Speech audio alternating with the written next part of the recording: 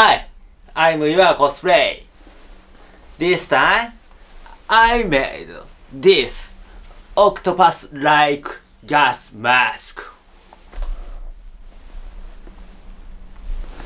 Let's watch the tutorial.